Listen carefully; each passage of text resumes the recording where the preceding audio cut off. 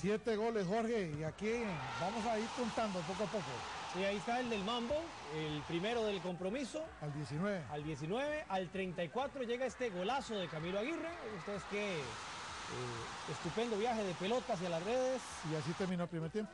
Y después siguieron los goles, don Mario. Qué este golazo. es otro golazo también de el Chucky Gómez, de Ismael Gómez, el argentino, con un soberbio cobro de tiro libre para el 1-2.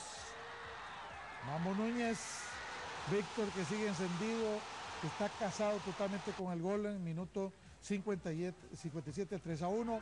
Y luego aparece el gigante Kendall Waston para el 3 a 2 al 78. Hay que decir que Keylor Soto falló un penal antes de eso, ¿verdad? Y aquí está una vez más. Este centro me parece estupendo. No se precipita el jugador, lo toma con calma para que llegue bien al algún compañero. Y el que lo hace es Kendall Waston. Al Y- 86. Y, aquí llega el gol eh, lapidario de este partido porque eh, Pérez descuida la marca, ven ustedes. eh, Elías ni se mueve, ni va a la pelota. Él espera que llegue el balón. Eh, en la defensa nadie reacciona y cae el gol del triunfo para Heredia. Así gana Herediano en una noche a puro fútbol.